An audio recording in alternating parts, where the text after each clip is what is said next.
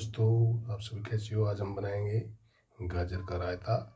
हमने आधा किलो गाजर साफ़ कर लिए हैं, धो लिए अब हम इनको कद्दूकस करते हैं। दोस्तों, हमने सभी गाजरें कद्दूकस कर लिए। अब हम इनको थोड़ा सा गैस पे पकाएँगे, उबलने के लिए रख देंगे और 100 ग्राम के करीब डाल देंगे इसमें पानी और इसको रख देंगे उबलने के लिए। गैस को मीडियम लो पे चलाएँगे। हमारा गाजर गल करके तैयार हो गया। अब हम इसका पानी निचोड़ लेंगे। अब आती है हमारी बारी, इसमें क्या क्या डलेगा? ये हमने छः सात लहसुन की कलियाँ मिक्सर जार में डाल दिए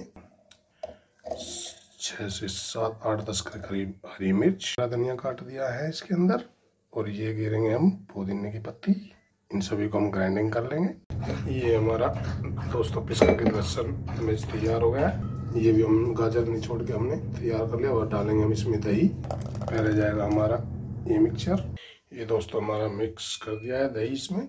ये आएगी अब स्वाद अनुसार नमक, एक चुटके के करीब काली मिर्च, एक चम्मच देगी मिर्च और थोड़ा जाएगा सूखा हुआ पुदीना। अब आती है हमारी तड़के की बारी। इसमें थोड़ा हमने तेल डाल लिया एक चम्मच के करीब, एक से डेढ़ चम्मच। पहले जाएगा इसमें हमारा जीरा, एक चम्मच। एक चम्मच करीब अजवाइन फिर जाएगा हमारा लहसुन और प्याज कटा हुआ। और ये हमारा तड़का हो गया तैयार। हम इस तड़के को डालेंगे रायते के अंदर। आप इसमें ऊपर से भुना हुआ जीरा भी डाल सकते हैं। ये हमारा तड़का रायता बन करके तैयार हो गया। नमस्कार दोस्तों, मेरी वीडियो कैसी लगी है, ज़रूर बताना। वीडियो को लाइक करना, शेयर करना, चैनल को सब्सक्राइब करना। नमस्कार।